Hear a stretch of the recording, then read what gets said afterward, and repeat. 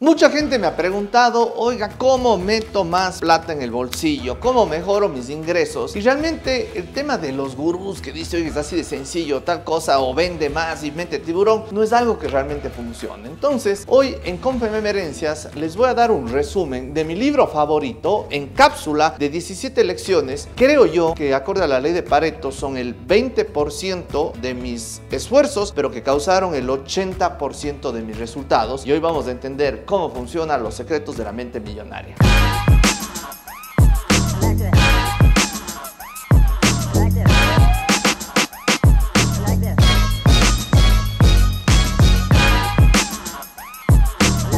Llegué yo a este libro? Era un 31 de diciembre del 2017 probablemente. Estaba esperando a que llegue la familia para la fiesta de fin de año. Eran las 6 de la tarde. Yo tenía muchas ansias, aspiración económica. Puse cómo ser millonario en Google. Sale una conferencia de este Mijin Jurgen Klarik. Dice, o sea, me ha dado buenas lecciones, pero le tengo cierta resistencia en algunas cosas. Algo anda mal. Pero dio un resumen de cosas, de forma de pensamiento y dice, vayan a leer Los secretos de la mente millonaria. Explica mucho la razón psicológica del libro por ejemplo, por qué fracasan los países, que es la forma de pensar que tienen de Estados Unidos hacia arriba de prosperidad, mientras que la forma de pensar de Latinoamérica es distinta. Dije, este más está hablando huevada. Pero le di el beneficio a la duda y me puse a leer el libro. Como antecedente tenemos que saber que aquí hablan de mente millonaria y de mente pobre y que yo era un mente pobre y me di cuenta fundamentalmente que tenía muchos pensamientos que hacían que mis ingresos, mis actuaciones, mis negocios estén sumamente limitados y aquí es en donde les voy a compartir estas 17 lecciones. Disclaimer, no por ver este video de 17 lecciones van a ser millonarios. La motivación que les dé este libro dura 3 días. Igual que dura 3 días Padre Rico, Padre Pobre, igual que dura 3 días el libro de Piensa y hazte rico de Dale Carnegie o Napoleon Hill, no me acuerdo quién es el que escribió este, pero el secreto está en persistir, en seguir leyendo, en seguir viendo videos hasta que esto se meta como tu software en la mente subconsciente.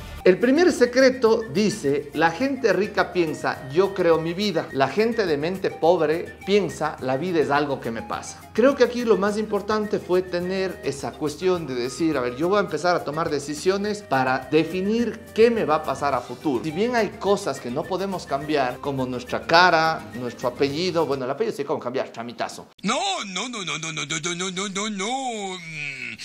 Bueno, sí. Dónde nacimos, nuestros papás, de dónde venimos. Aquí sí creo que una de las puntualizaciones que hago en torno a los secretos de la mente millonaria entender la pirámide de Maslow, que esta forma de pensar te ayuda cuando tú ya tienes tus necesidades de seguridad fisiológicas, sociales bien y pasas a la siguiente punto de la pirámide, que ya es el tema de reconocimiento, de propósito. Pero es muy difícil para una persona que vive, por ejemplo, en la isla trinitaria, ha nacido en medio de violencia intrafamiliar, donde la ha vivido muy difícil, solo decirle, oye, ponte positivo y sal adelante. Creo que es una de las primeras cosas que tiene que llamarnos la atención. Si vamos teniendo prosperidad económica, debemos enfocarnos en cómo ayudar a que otra gente tenga estas tres partes de la pirámide de Maslow solventadas. Caso contrario, es muy difícil que con estas cosas puedan desarrollar. Segunda regla, las mentes millonarias juegan a los negocios o al juego del dinero para ganar. Las mentes pobres juegan a los negocios o al juego del dinero para no perder. Ojo, no es lo mismo jugar para ganar que jugar para no perder, que básicamente quieres empatar. Esta forma de ver la vida me ayudó mucho cuando recuerdo una de las con las que me formaron mis creencias de chiquito fue, si inviertes mil y te regresa mil, bendito sea Dios. Y yo decía, pero ¿y cómo? ¿Cómo? O sea, no entiendo. Que alguien me explique. Si gastaste mil y tienes mil de nuevo, ¿de dónde tienes la plata para pagar el arriendo y el pan y el, y el bulldog? Que era otra movida. Entonces ahí logré ver que entrar a empatar no sirve de nada. Hay que entrar a ver cómo gana. Y ahora mi forma de pensar es que si invierto mil y recibo cien mil, bendito sea Dios. Así no sea muy cristiano y toda la huevada. Este es un grupo cristiano, marrano. Pero aquí la lección siempre es enfocar esto desde el punto de vista que no es solo hacer más dinero, es ayudar a más gente. Y mientras más gente ayudas, más plata haces. La tercera lección es que la gente de mente millonaria se compromete a ser rica. La gente de mente pobre desearía ser rica. Y aquí hay un asunto que esta riqueza de que habla el libro no es solo en plata o en billete o en bitcoins, hay que invertir en bitcoins, sin que esto sea asesoría financiera y ahí vayan a ver otro. Tenemos aquí el video sobre bitcoins en Ecuador, les va a servir bastante. Básicamente a lo que se refiere esto, que el tema de desarrollar riqueza de amigos, de salud, familia, requiere mucho trabajo antes. Tú no vas a tener una gran salud física si es que no te levantas a correr en las mañanas. Tú no vas a tener una gran familia si no haces el esfuerzo de ser un novio decente con una chica y que tengas al menos una relación monogámica para que puedas desarrollar una familia feliz. Porque es lo que un hombre hace. Tú no vas a tener una gran riqueza económica en los bolsillos si es que no ordenas tus finanzas personales. Entonces, esta es una regla muy importante en torno al compromiso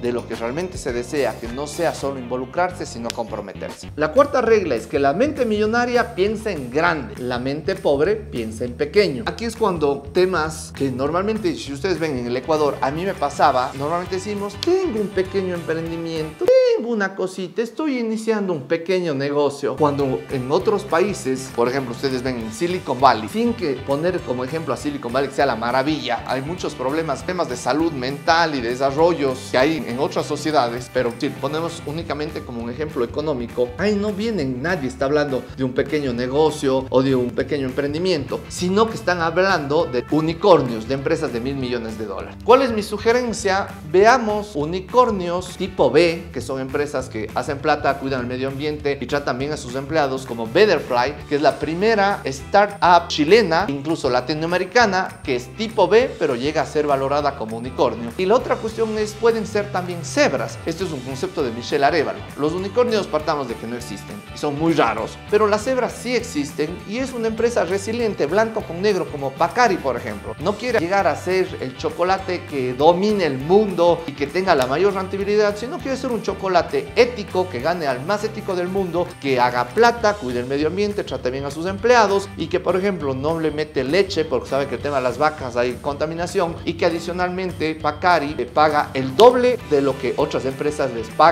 a los productores de cacao, a los agricultores. Entonces, hay formas de medir esto. Quinto, la gente de mente millonaria se centra en las oportunidades. La gente de mente pobre se centra en los peros, se centra en los obstáculos. Aquí uno puede ver cuando estás generando un negocio o cuando estás haciendo cualquier cosa, tú identificas a la mente pobre cuando dice, chuta, pero muy difícil, complicado, Ojalá. Todas esas son palabras de mente pobre. Aquí se me están riendo a la derecha porque estas les tengo adoctrinadas que dicen ojalá. Le digo, nada de ojalá, decrétalo. ¿Te rebelas? No, no. ¿Te rebelas contra Elmo? No, señor, discúlpeme, por favor. ¿Qué te hace pensar que Elmo no te puede cortar? ¿Cuál es la parte importante dentro de esto? Aprendí, le sugiero el libro Deja de ser tú de Joy Dispensa, en donde te explica con física cuántica que el poder de tus palabras se transforma en pensamientos y los pensamientos en emociones. Las emociones tienen una carga energética en el universo y atraes lo que eres. Ya sé que van a decir que bestia de hippie, ya está aquí con sus huevadas, ya viene con el poder de atracción de la mente, Mi mente es superior a la de los demás. pero son cosas que uno entiende. A lo que tenemos que ir es que no es tan fácil de solo habla en positivo, piensa en positivo. Eso puede ser fácil para un medio que estamos que tenemos internet con fibra óptica en la casa y me están viendo desde su iPad, su iPhone o su MacBook o su tele de 50 pulgadas en la televisión, en donde nuestras necesidades, nuevamente, pirámide de Maslow, nosotros no estamos con el problema de las tres primeras partes de la pirámide, ya estamos en un nivel más alto y que para nosotros es sencillo, pero de nada nos sirve que pocos estemos acá si hay gente que pasa hambre y que necesita salir a comer y como no tiene comida necesita ir a robar. El tema es, es- no, es, no es- no es más complejo, no es que necesitamos más policías o más cárcel, es que necesitamos políticas sociales más enfocadas a un empleo y desarrollo social pertinente. Entonces creo que estos son puntos muy importantes que tenemos que reflexionar. Y en este tema de cómo uno se centra en las oportunidades, hay una empresa que se ha centrado mucho, no solo en crearse oportunidades a ellos mismos, sino en oportunidades al resto. Y ha creado Bogatti, que no solo son los helados con queso, que les recomiendo, váyanse, hay 190 sucursales en todo el Ecuador, váyanse y péguense uno en mi nombre,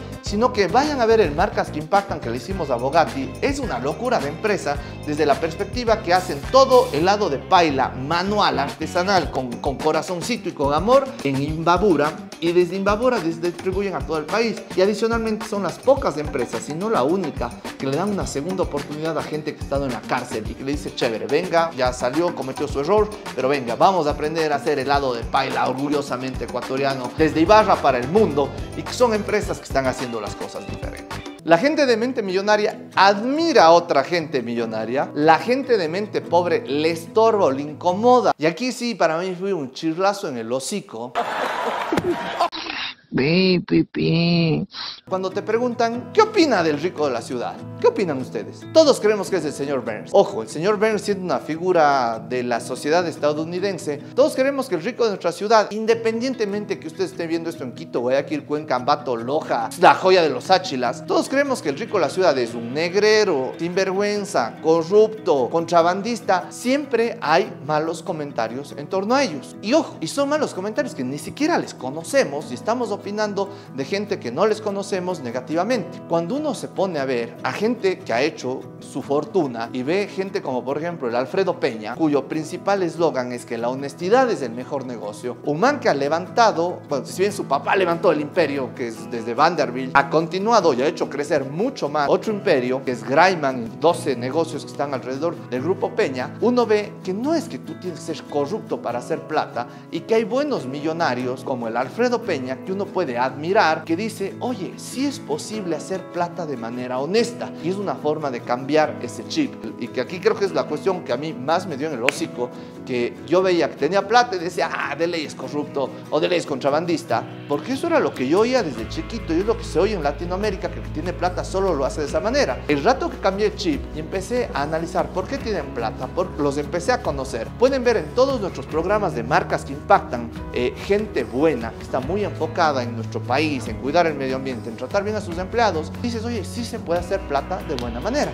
Entonces, esto es una cosa importantísima. La siguiente que les nombren un apellido, cuiden puntualmente sus pensamientos. No niego que hay malos empresarios, hay malos millonarios, hay gente explotadora en el mundo. El problema es que los malos siempre salen en Ecovis y Teleamazonas por algo malo que han hecho o están metidos en juicios. Y los buenos son bajo perfil. Pero para eso, suscríbanse al canal y entérense de millonarios. Son buena onda y están haciendo bien las cosas. Séptimo, la gente de mente millonaria se rodea de gente próspera y abundante. La gente de mente pobre se rodea de gente negativa y pesimista. Jim Rohn, que es el jefe o padre o coach espiritual de Tony Robbins, te decía que somos el resultado de las cinco personas con las que más nos rodeamos. Y aquí pregúntense, cuando tu círculo cercano de cinco personas, ¿qué te están diciendo? ¿De qué están hablando? Mi círculo, cuando yo empecé este despertar, normalmente era, viste, ella se estaba besando con él en la fiesta, o viste, esta otra se quedó embarazada, o viste, este le puso los cachos. Dices, ¿y a mí qué putas me importa?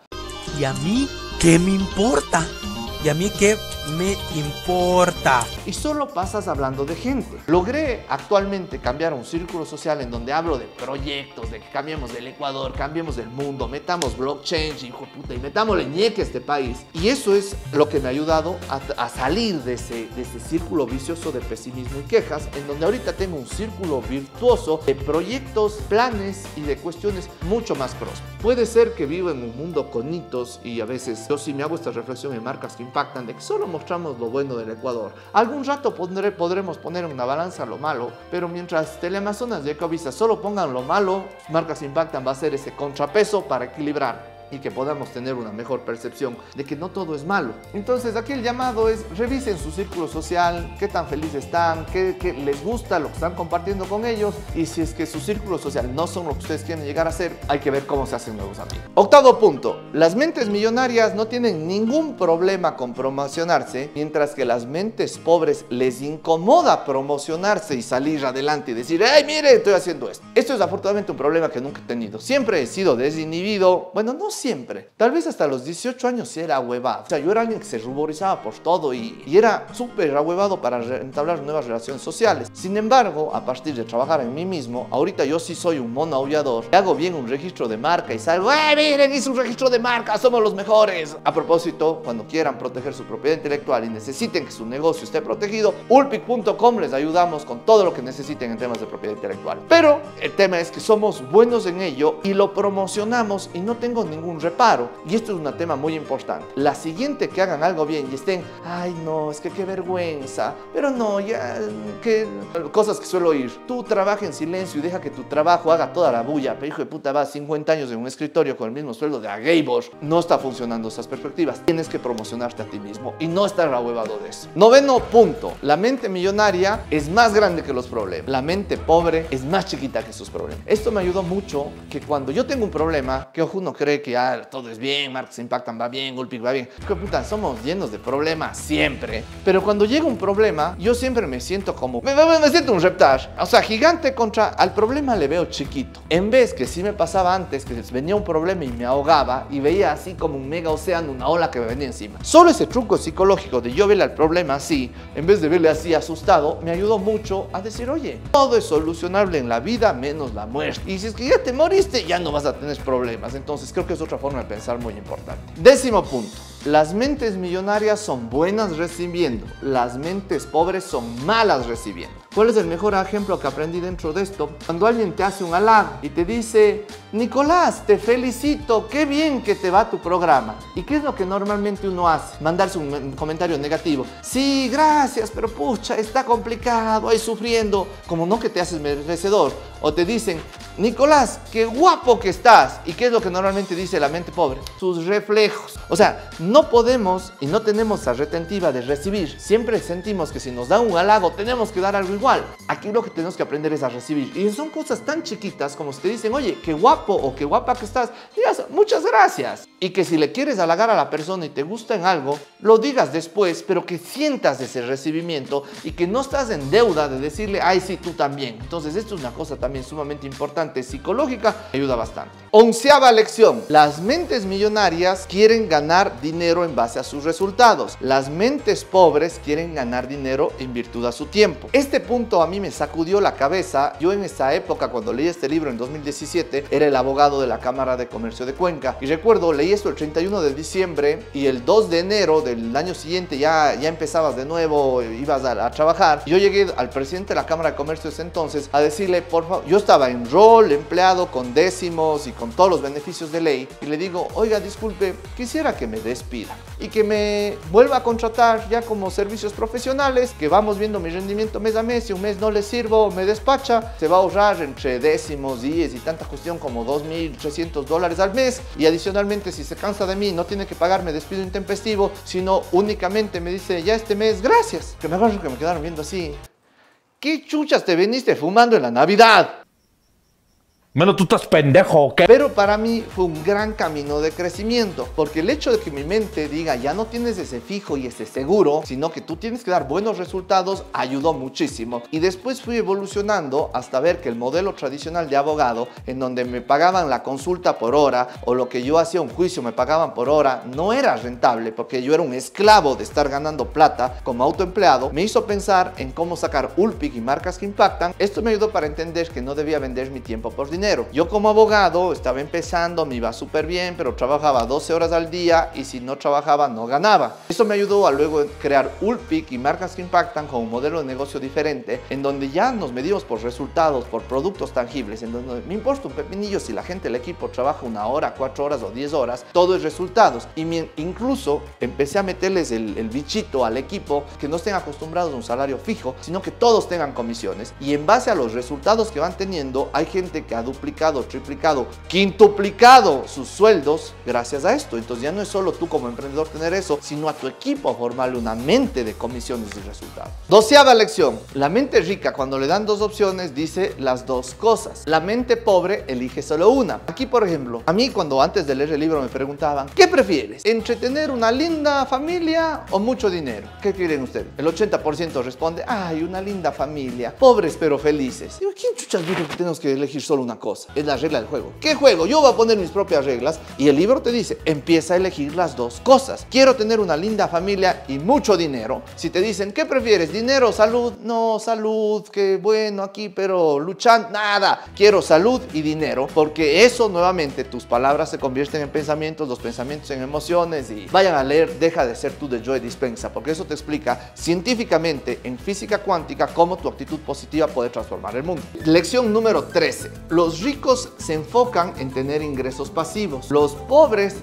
se enfocan en tener dinero a partir del trabajo que hacen. A mí me pasó que hasta los 30 años yo todo lo que ganaba llegaba el 31 de diciembre del final del año y me encontraba con 30 dólares en la cuenta y me había chupado todo. Luego ya hice un cambio en mi vida y empecé a invertir en activos que me den plata mensualmente. Entonces ya tengo una casita en arriendo, ya metí en una póliza, ya compré acciones, ya compré criptomonedas. En criptomonedas tengo diversificado en Bitcoin metido en una wallet fría. Tengo un asunto también de Bitcoin metido eh, con un tema de interés. Tengo adicionalmente un tema de proof of stake con otra moneda. Entonces tengo ya ahorita muchas fuentes de ingresos pasivos que ya no requieren mi tiempo físico o de mi energía para producir, sino que ya me caen automático mes a mes. No es que sea la gran maravilla ahorita, pero denme 10 años, van a ver cómo estoy.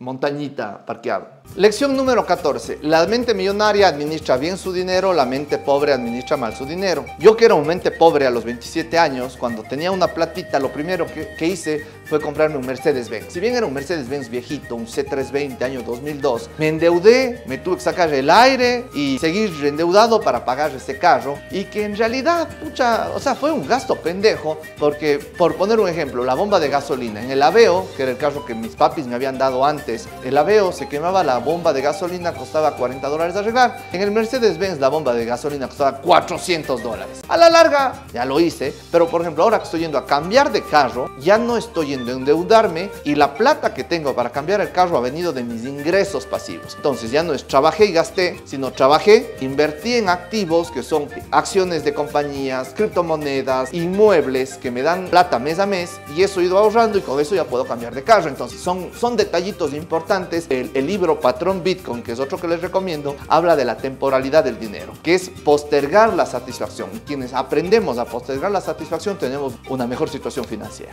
La lección número 15 es que las mentes millonarias hacen que su dinero trabaje duro por ello. Las mentes pobres trabajan duro para conseguir dinero. Gracias a los, a los capítulos de marcas que impactan, cuando he conocido a los personajes y empresarios más reconocidos del Ecuador, que uno cree que pasan a full hecho locos, son gente que en realidad lo que más valoran es el tiempo y la libertad. De que si es que hoy día es miércoles y a las 4 de la tarde tienen un partido de fútbol de su hijo en el colegio, tienen la libertad de ir a ver ese partido de fútbol y que entienden que no es sacarse el aire trabajando para ganar plata, sino que la plata tiene que sacarse el aire para hacer más plata, siempre viendo cómo ayudas a más gente, porque si más gente ayudas, más plata haces. El rato que empezamos a pensar de esta manera y que el sueldo que podemos ganar como empleados no es de una ir a gastárselo o que tengo que sacarme el aire trabajar horas extras para ganar más plata, sino que tengo que ver que la plata que ahora tengo, invertirla inteligentemente y que, ojo, no hay inversiones riesgosas, solo hay inversiones de las que desconocemos. Tenemos que aprender, leer, tomar cursos de cómo invertir, que yo he tomado ya algunos de ellos y estoy poniendo en riesgo esta cuestión, que aparte son temas riesgosos. Lo que les puedo sugerir es el libro El cuadrante del flujo del dinero de Kiyosaki, que te enseña en palabras muy sencillas cómo empezar en este mundo, pero que es una gran realidad. La lección número 16 es que los mente millonaria actúan a pesar del miedo, los mente pobre dejan que el miedo les paralice. A mí sí me pasaba antes que decía, chuta, qué miedo invertir, qué miedo meterme en este negocio, qué miedo hacer esta fiesta, miedo invertir en esta cuestión. decía, no, no, no, no, no actuaba me paralizaba. Hoy no es que he perdido el miedo, recién hicimos el Marcas que Impactan NBA Live Show, acá, pueden ver el link del resumen, fue un evento en donde juntamos a mil personas entre presencial y virtual y que obviamente antes de hacer eso era un evento que costaba 60 mil dólares y que obviamente estaba huevado, pero no dejé que el miedo me paralice y actué a pesar del miedo. Entonces son, son también tips sumamente importantes en torno al asunto. Y la última lección, la 17. Las mentes millonarias siguen aprendiendo constantemente. Las mentes pobres creen que ya lo saben todo. Y esto es una de las cosas más importantes. El otro día estuve con Rock Sevilla en Quito, en su oficina en Metropolitan Touring, y le digo, ¿qué libro me sugiere ahorita que usted esté leyendo? Y me mostró tres libros que él estaba viendo en Audible. Audible es una aplicación de Jeff Bezos. Cuesta 150 al año, pero tienes infinitos libros. Y hay membresías desde 7 dólares mensuales. Pero me mostró tres libros que él se seguía aprendiendo. Ya Oman, que fue alcalde de Quito, ya tiene éxito empresarial de sobra, ya tiene una familia con nietos o bisnietos conformada, tiene todo el billete del mundo, pero sigue aprendiendo y con mucha humildad. Mientras a veces tú vas a un mijín que es CEO a los 28 años y dice, no, ya no leo, no, yo, yo estoy, estoy a full, ya esas huevadas no sirve, ya to- todo es la práctica, todo es la práctica. Entonces, esa es otra cosa que aprendí, ser curiosos e insaciables de conocimiento todo el tiempo. Estas 17 lecciones que para quien es nuevo en el canal pueden parecerle medio esotéricas y para quienes ya leyeron los secretos de la mente millonaria, me encanta cuando estamos entre un grupo de emprendedores, todos hemos leído Padre Rico, Padre Pobre y los secretos de la mente millonaria, creo que el único llamado de atención que tengo que hacerles es nuevamente pirámide de Maslow. Entendamos que esto nos sirve a nosotros que hemos sido privilegiados, que a muchos de nosotros papitos nos pagó la universidad, que es mucho más fácil ponerse claros y decir, sí, chévere, a ver, voy, voy a crear esto. Alguien que nació en violencia intrafamiliar, en un ambiente de pobreza y de, y de violencia, es mucho más difícil decirle, ah, ponte bien, sé positivo y sal adelante. No funcionan así las cosas. Pero ahí es el llamado a nosotros que queremos empresas con propósito, que podamos ayudar a esa gente y que el mensaje siempre en Confemem Herencias es que salgamos adelante sin dejar a nadie atrás.